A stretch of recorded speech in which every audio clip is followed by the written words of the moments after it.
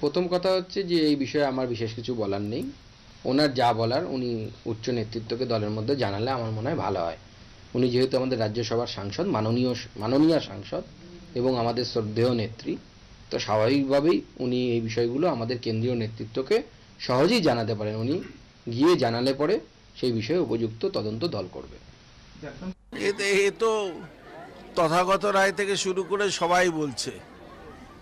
BJP ভেবে দেখুক যে মমতা বন্দ্যোপাধ্যায়ের বিরুদ্ধে লড়াই করবার জন্য যে অর্থের ব্যবহার, ক্ষমতার ব্যবহার প্রশাসনে কেন্দ্রীয় প্রশাসনের ব্যবহার, কেন্দ্রীয় সংস্থার ব্যবহার করে তারা জমি দখল করবার চেষ্টা করছে, তাদের এই রাজ্যে কোনো জমিই নেই, পায়ের তলায় কোনো মাটিই নেই।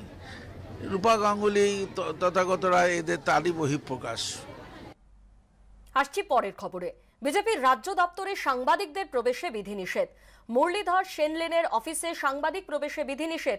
দোতলায় সাংবাদিকদের প্রবেশে নিষেধাজ্ঞা জারি। শিরের মুখে বসানো হলো গ্রিল।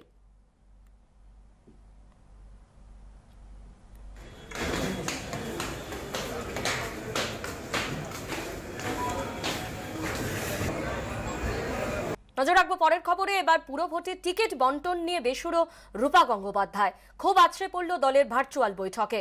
বিজেপি সাংসদের প্রতিক্রিয়ায় হতচকিত দলীয় নেতৃত্ব। কেন তাকে পুরভোটের বৈঠকে ডাকা হয়েছে এ নিয়ে সরাসরি প্রশ্ন তোলেন রূপা। গতকাল রাত সাড়ে নটা নাগাদ পুরভোট নিয়ে বিজেপির ভার্চুয়াল বৈঠক শুরু হয়। সংসদের অধিবেশন চলায় সুকান্ত মজুমদার, দিলীপ ঘোষ, রূপা গঙ্গোপাধ্যায় সহ সকলেই দিল্লিতে রয়েছেন। কলকাতায় ছিলেন দলীয় কমিটির বাকি সদস্যরা। রাত দশটা নাগাদ দলের সাংগঠনিক সম্পাদক অমিতাভ চক্রবর্তীর বক্তব্য শেষ হবার সঙ্গে সঙ্গে চলতি ভাষায় দলীয় বৈঠককে অন্তঃসার শূন্য বলে দাবি করে আচমকাই বেরিয়ে যান রূপা। এরপর রাত এগারোটা নাগাদ নিজের ফেসবুক পোস্টে ছিয়াশি নম্বর ওয়ার্ডে প্রয়াত কোয়ার্ডিনেটর তিস্তা বিশ্বাসের মৃত্যু নিয়ে বিস্ফোরক মন্তব্য করেন বিজেপি সাংসদ।